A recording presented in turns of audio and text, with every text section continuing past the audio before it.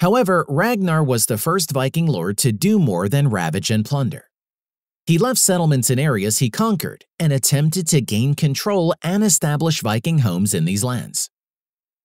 The saga of Ragnar Lothbrok, while having little on his marriage to his third wife Lagertha, said that she battled alongside Ragnar and was his wife before Aslog.